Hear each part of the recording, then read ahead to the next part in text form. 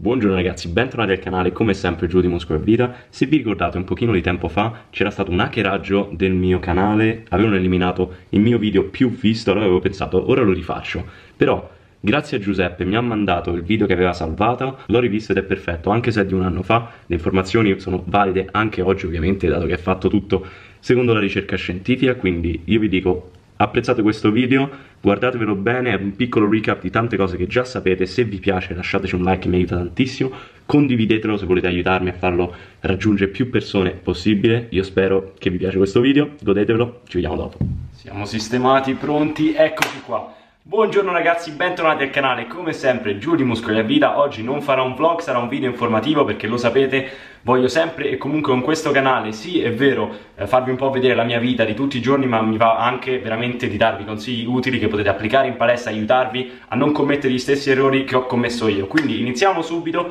questo sarà un two video series, quindi farò due video a riguardo sulle 10 cose che avrei voluto sapere prima di iniziare la palestra. Quindi prima di leggermi e perdermi tra tutte queste cavolate diffuse nell'industria, queste sono veramente le 10 cose secondo me principali che molti di noi sbagliamo, soprattutto lifter principianti o giovani perché ci vengono dette magari da gente che noi riteniamo più esperta di noi e veramente però sono miti, miti da bro, cose che noi dobbiamo evitare, quindi iniziamo.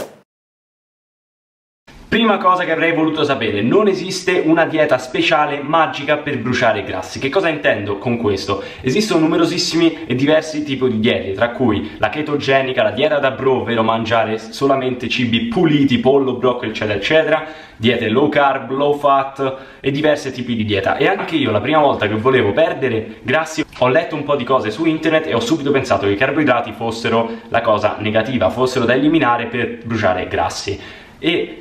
in effetti ho perso tanto peso in quei due anni, però non l'ho fatto in modo strutturato, non sapevo niente, ho semplicemente eliminato tutti i carboidrati, ho iniziato a smettere di mangiare carboidrati la sera, sicuramente ho bruciato grassi e ho perso tanto peso, però non l'ho fatto in modo ottimale, il peso che ho perso non era tutto grasso, era anche sicuramente un po' di massa muscolare magra, quindi alla fine della dieta non è che avevo migliorato troppo la mia composizione fisica corporea. Per questo quello che veramente volevo farvi capire non esiste una dieta speciale o magica, non è che se elimini i carboidrati inizierai a bruciare grassi e che tutti noi dobbiamo eliminare i carboidrati, no, la dieta in sé è solamente un metodo, un approccio per farti arrivare automaticamente a un singolo obiettivo che è il deficit calorico. Per bruciare grassi qualsiasi tipo di dieta funziona tutto nello stesso modo. È un modo, è una dieta che prova a metterti automaticamente in un deficit calorico. Questa è scienza ragazzi, tutte le diete funzionano in questo modo, anche la dieta chetogenica, quindi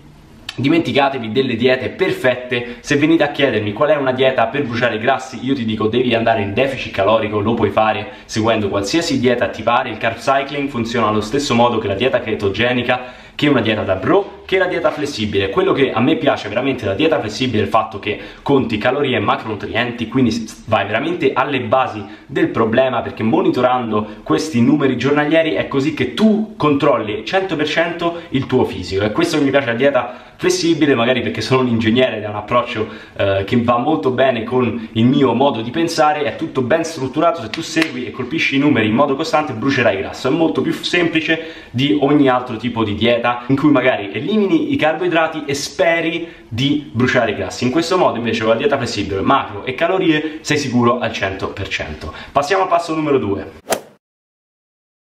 La seconda cosa che avrei voluto sapere è che non possiamo bruciare grassi in una parte specifica del corpo. Anch'io da piccolo avevo i fianchi e volevo bruciare le maniglie dell'amore, volevo bruciare soprattutto il, gra il grasso sull'addome e quindi ho iniziato a fare mille ma migliaia e migliaia di ripetizioni di crunch da seduto, da terra. I miei mi vedevano prima, dopo cena, provavo a fare di tutto pensando che se faccio gli addominali riesco a bruciare il grasso che è sull'addome. In realtà gli addominali l'unica cosa che fanno è che scolpiscono il muscolo sotto il grasso. Voi potete scolpire tutto il muscolo che volete facendo mille ripetizioni, ma se avete uno strato di grasso che li ricopre non li vedrete mai, quindi è impossibile proprio in modo scientifico, fisiologicamente per il nostro corpo bruciare grassi in una parte specifica del corpo. È impossibile se io inizio a fare tanti bicipiti che brucio i grassi nel bicipite, perché bruciare grassi è un processo full body, è un processo che dobbiamo essere in un deficit calorico e il nostro corpo decide da dove vuole bruciare il grasso.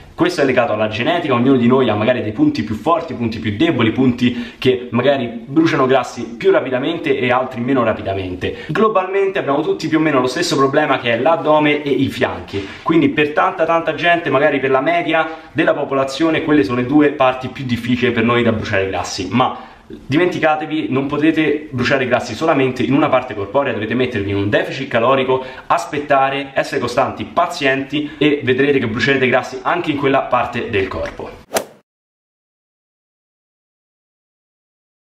La terza cosa che avrei voluto evitare era di cadere nel mito che bisogna mangiare ogni due o tre ore per mantenere i livelli di metabolismo elevati per bruciare più calorie e soprattutto non vi dimenticate,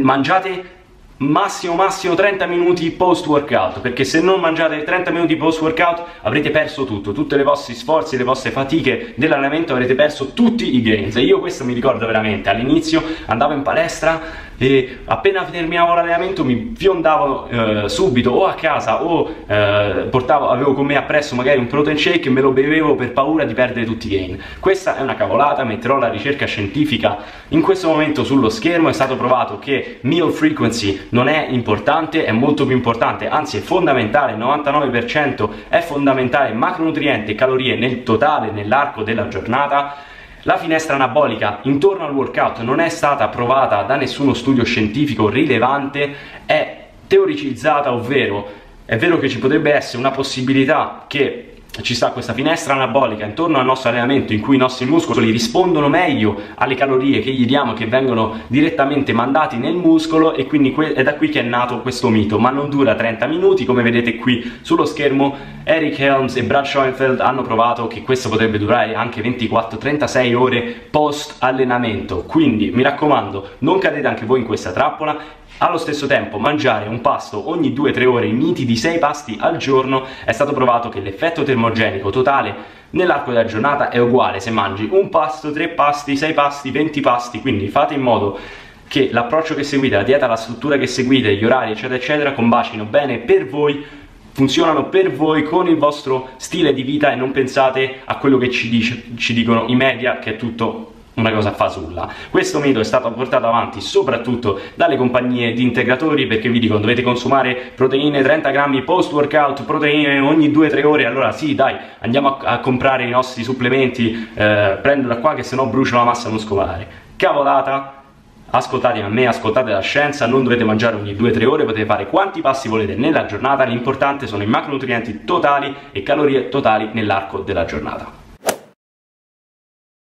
Passiamo dunque al quarto punto, una cosa che avrei saputo, voluto sapere veramente è che i supplementi, gli integratori di proteine, BCA, creatina non sono steroidi e non sono magici. Io onestamente la prima volta che mi sono comprato le proteine in polvere pensavo oddio ora vedrai nel prossimo mese diventerò una bestia. Mi sentivo già dopo il primo shake stavo per diventare non lo so l'incredibile Hulk invece ragazzi è veramente tutta una cosa psicologica no? i supplementi stanno a supplementare la vostra dieta sono veramente una fonte semplicemente di proteine o di altri minerali, di altre vitamine, di altre sostanze chimiche che, sono, che si trovano naturali, sono naturali, vengono ad esempio la cheratina la possiamo trovare nella carne rossa, i BCAA negli altri cibi e uguale, proteine, whey, le whey proteins è una, semplicemente un'altra fonte di proteine, un biprodotto del latte, quindi anzi sono gli scarti del latte, quindi se bevete il latte in teoria dovrebbe essere uguale le proteine del latte e le whey protein. Non hanno niente di speciale, non sono uno steroide, non diventerete l'incredibile Hulk e per questo motivo quando mi venite a chiedere ah ma secondo te mi consigli di prendere whey protein eccetera eccetera, queste sono quelle le cose che vi dirò di più importante. Non è assolutamente essenziale, però è vero che come integratore potrebbe essere molto utile e conveniente e anche meno caro di magari una fonte di proteica differente. Ad esempio, se voi dovete consumare 150 grammi di proteine ogni giorno, magari mangiare pollo su pollo, carne, tonno, eccetera, eccetera, magari viene più costoso. Veramente, grammo per grammo, un integratore di whey protein potrebbe aiutarvi a colpire i vostri numeri giornalieri senza dover spendere troppo tempo cucinando, senza dover spendere troppi soldi al supermercato, quindi potrebbe essere conveniente, utile e meno costoso. Non è magia, i supplementi non vi faranno diventare Hulk se prendete gli aminoacidi non brucerete più grassi magicamente. Ragazzi servono a supplementare la dieta per questo si chiamano supplementi. Quinto mito, e questo ragazzi veramente magari per il primo anno e mezzo di palestra che ho fatto io tanto tempo fa, quando avevo appena iniziato pensavo fosse così, le ripetizioni alte le dobbiamo utilizzare per tonificare il muscolo e invece le ripetizioni basse le dobbiamo utilizzare per diventare più grossi, per massimizzare il volume del muscolo. Anche questa è una cavolata, soprattutto voi ragazze mi avete già scritto in un paio dicendo oh ma se voglio tonificare il muscolo devo fare ripetizioni alte, ho sentito di qua e di là. No ragazzi, per costruire il muscolo qualsiasi tipo di ripetizione, bassa, alta, media, costruirà il muscolo allo stesso identico modo. Per tonificare il muscolo, se volete tonificare il muscolo, allora lì sta nella dieta che state consumando. Per vedere di più il muscolo, per vedere proprio le inserzioni e avere le vene, tonificare quello che pensate voi di tonificare, dovete andare in un periodo di definizione, dovete definirvi, dovete bruciare la massa grassa. Dovete pensarlo come due ingredienti ben distinti. L'allenamento, la cosa principale che volete fare con l'allenamento che fa l'allenamento è costruire la massa muscolare. Se voi poi volete tonificare il muscolo, volete avere più definizione, allora non è più l'allenamento, l'allenamento è sempre lo stesso, dovete passare a vedere la dieta, dovete modificare qualcosa, dovete, come ho detto prima, magari diminuire calorie totali giornaliere, macronutrienti, cambiare un po' tutta la struttura della vostra dieta per entrare in un deficit calorico. In questo modo brucerete il grasso che ricopre i vostri muscoli, dopo un po' di tempo inizierà a venire un po' più di definizione ed è quello che tonificherà i vostri muscoli. Stessa cosa per le gambe. Quindi ragazze e ragazzi, non andate in palestra facendo ripetizioni alte pensando che quello vi possa aiutare chissà in che modo a tonificare, mi raccomando. Allenamento per costruire la massa muscolare e la dieta per la definizione, poi messi insieme arriverete a un muscolo tonico.